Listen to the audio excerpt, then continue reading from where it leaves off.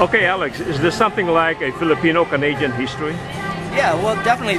Filipino-Canadian history is what we're writing right now, right? So Filipinos first arrived here in the 50s, uh, but not so many of us. Most of us came during the Marcos era, right? Uh, starting in the 70s into the 80s, uh, then increasing, increasing. And Filipino history in Canada really goes by the needs of Canada at the time. Uh, so during the 70s, Canada had had a much more open immigration policy because of the fact that Canadian the Canadian economy was growing and they needed more bodies in Canada in order to build the Canadian economy. So when we first started coming here in the 70s, we would come as professionals. We would come as doctors, lawyers, uh, nurses, uh, professionals. In the 80s and 90s, that starts to change because Canadian needs are different.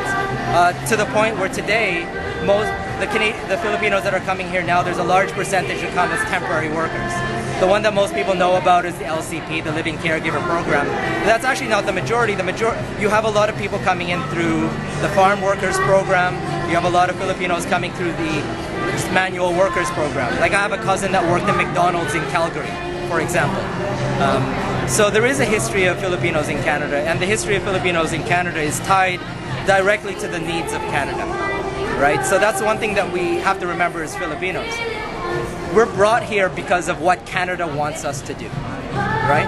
And so that this is our history here. And uh, yeah. okay, Alex, thank you very much. Thank you.